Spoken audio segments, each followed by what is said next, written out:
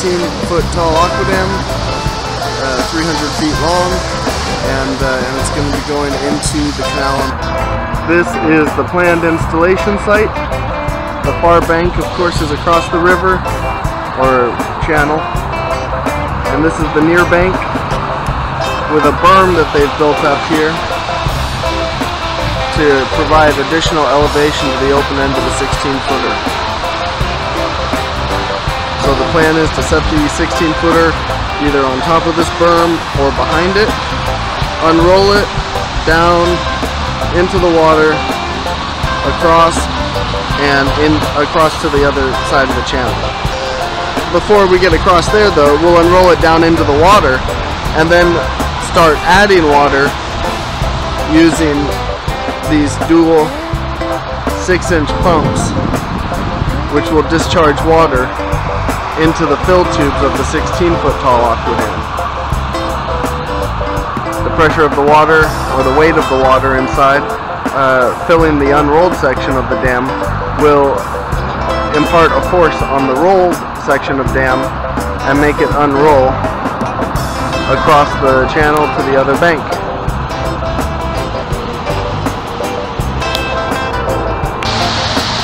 Okay, here's the 16 by 300 foot aqua dam. Uh, it needs two excavators to lift it, but we have one.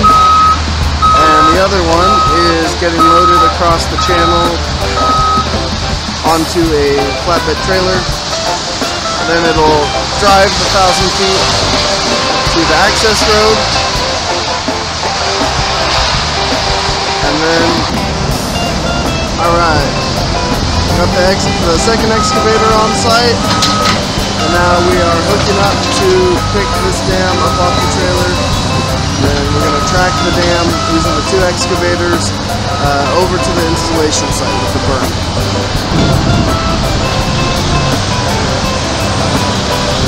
Alright, the two excavators are chained to either end of the beam that the aquadam is rolled on.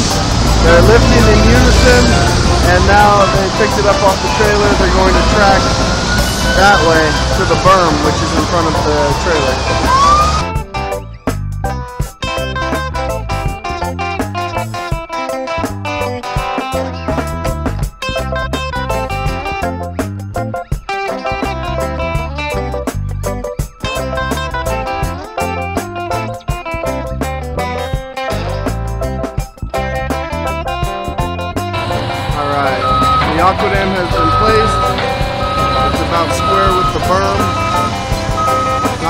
Square with the bank.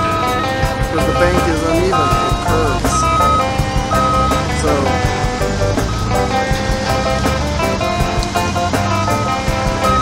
but we'll fix that if it if it turns out to be a problem. Right now we're unwrapping the dam, exposing the actual dam so that we can push it down into the water, expose the fill tubes, insert the discharge hoses, and start adding water. Okay, the dam is unwrapped, and now uh, we've got several ropes that are tied off, uh, or they will be tied off down in front. Then the dam will unroll over the top of them, and they come back over the top to a tie-off point on the other side. This is how we will control the aqua dam's rate of unrolling once we start adding water to the unit. Alright, the 16 footer has been placed on top of the berm. The, uh, sorry Richard. Excavator's coming in place to push it down the hillside. And we've got uh, one, two, three, four spools of rope that are set up for uh, to enable us to control the aqua dam's rate of unrolling across this channel as it goes. But first things first, we gotta unroll it down the hillside. Here's the start of the uh, aqua dam. You can see the white inner tubes, fill tubes protruding from the open end. And this is what must be tied back, the outside of the open end of the aqua dam must be tied back to something so we can, uh, so as we, as we push on the roll to unroll it down the hillside, we're unrolling it and we're not just letting it slide and pull the open end down the other side of the berm.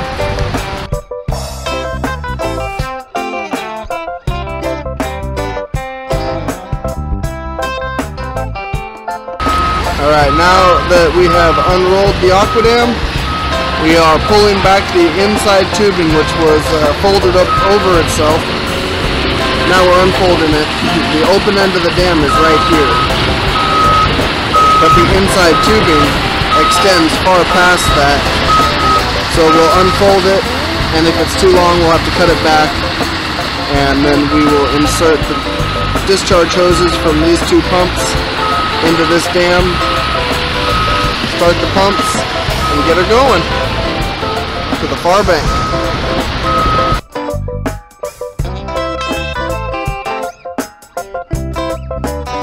Okay, we're inserting the 6 inch hose into this fill tube. Uh, just got done with it, now they're coming out, and the hose goes all the way down to here, past the edge of this berm. That way water must flow down into the main body of the aqua dam.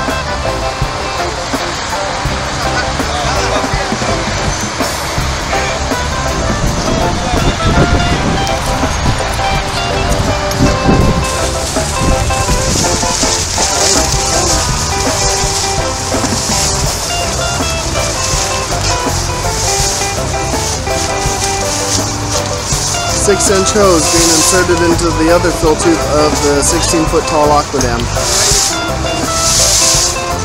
The inside tubing of the aquadam is white on the inside.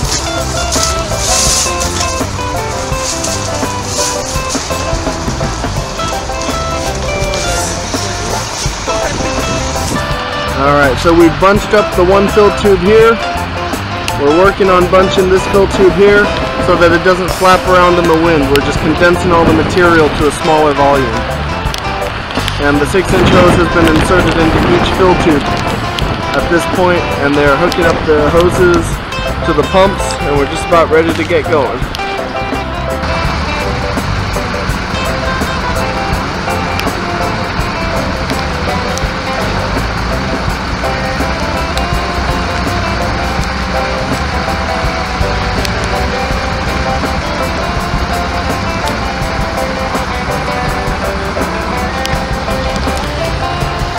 Alright. One 6 inch pump has been put up to idle, coming into this fill tube, and the end of the hose is just right down where that gentleman is standing. And then all the water comes in and falls down, boom, into the main body of the aquadam.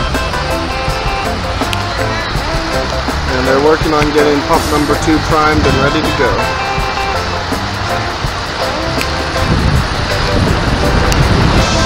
The 16 footer is uh, filling with water. It's being controlled by the men at the top of the bank. And as it fills, it's unrolling.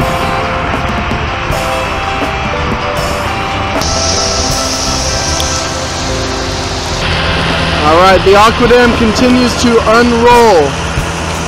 There are four control ropes that are being held back. One, two, three, four.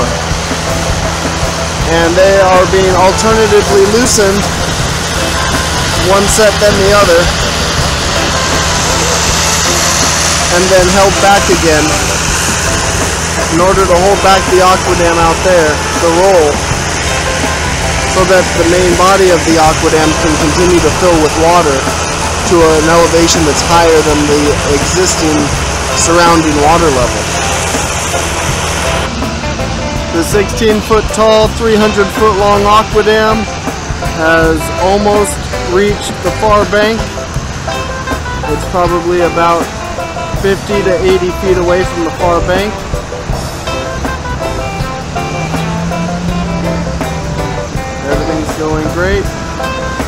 Two six inch pumps are pumping, pumping, and uh, everything's going great. Here we are, we're about 40, 50 feet away from the bank. Here's the rolled up aquadam, the unrolled section of aquadam, and there's a mark right there that says uh, 110 feet left. So we should have plenty to go up there and uh, hit the bank. Definitely getting get past water line.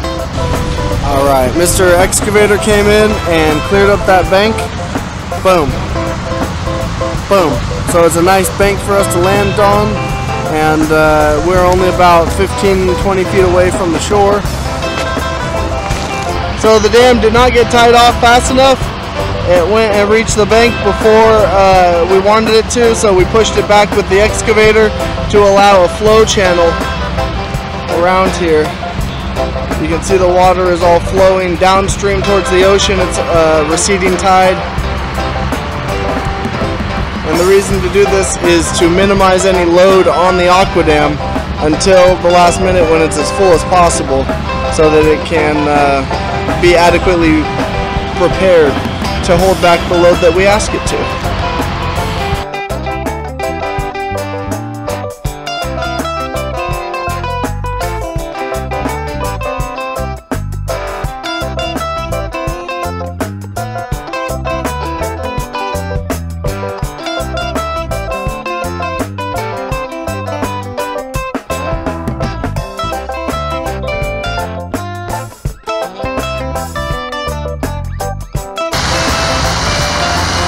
The 16 footer continues to fill. We brought the one side up the bank and this is upstream, the work area, staying full. On the other side is the tidally influenced uh, area. It's wild and right now the tide is receding, so the water level is dropping.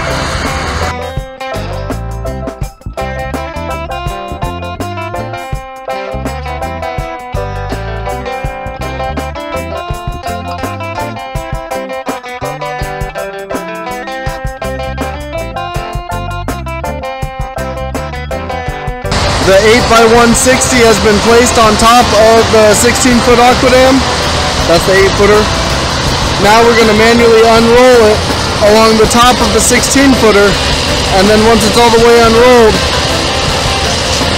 slide it off the edge into the water. Then we'll fill it with water. This 8 foot dam will support the 16 foot tall dam once the work area is dewatered.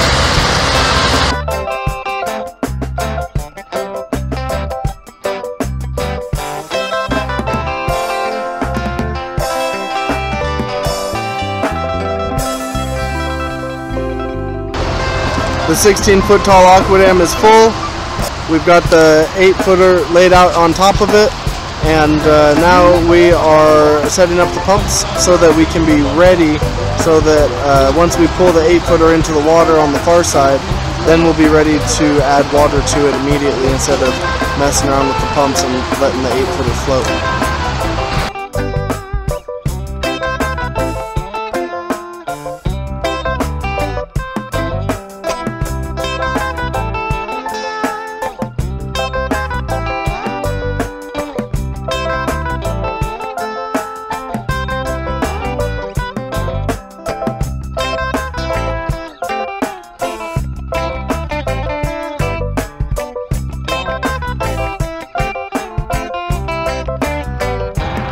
So the 8 footer had to be pulled down a little bit to eat up the footage so we weren't wasting it up here.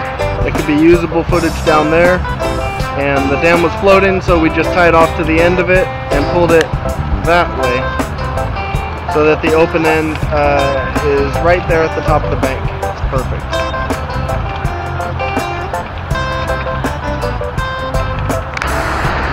The 8 footer is unrolled and slid into the water and uh, now they're just putting the hoses into the open end, the fill tubes of the open end on the bank. And the next step will be filling with water.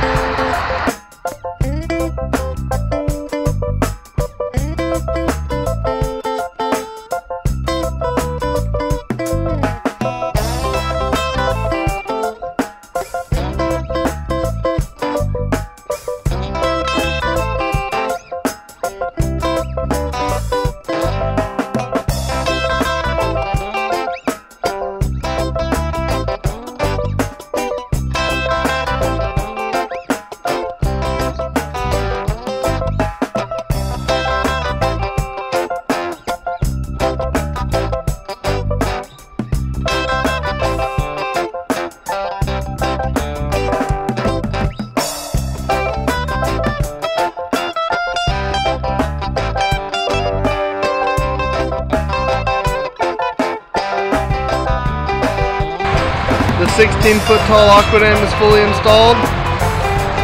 The first 8 foot tall aquadam, is about 170 feet long, is installed. And now we are installing the last aquadam. It's only about 80 feet long, 8 foot tall, and it's made so, and it's tied back here. It's actually tied back to the 16 footer in a few places so that as it fills it stays close to the side of the 16 footer just like it's uh, the first one did. Now the end here, the actual end of the aquadam is right in here somewhere. This material is part of the connection collar. We want this gap to remain here after the 8 footers are full so that water that seeps underneath the 16 footer has a path to drain out from between the two 8 footers into the work area. We do not want this water to stay here after the work area is dewatered. If the seepage water was allowed to build up between the two aquadams, it would push the support dam out of position, weakening the overall cofferdam.